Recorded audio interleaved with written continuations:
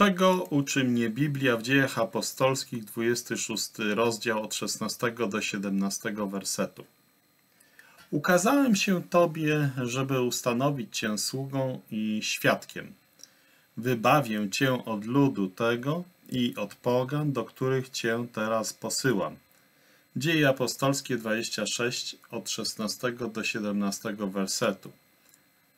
Rzekł Paweł do Barnaby – wybierzmy się w drogę i odwiedźmy braci we wszystkich miastach, których zwiastowaliśmy słowo Pańskie, aby zobaczyć, jak im się powodzi.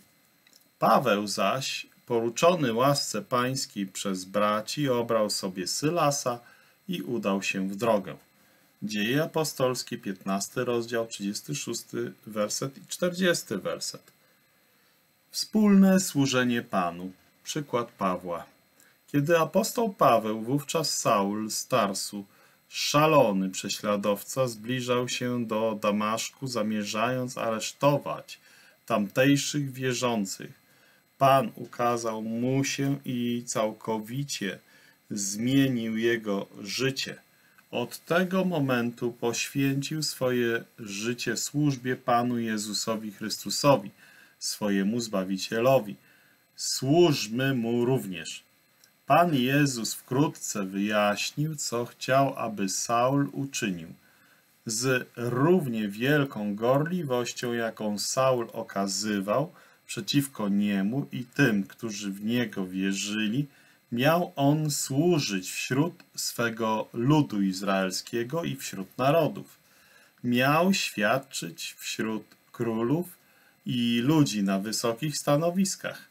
Po tym, jak Saul służył kilka lat w rodzinnym Tarsie, Barnaba przyprowadził go do Antiochii, gdzie Bóg rozpoczął dobrą pracę wśród pogan i Żydów.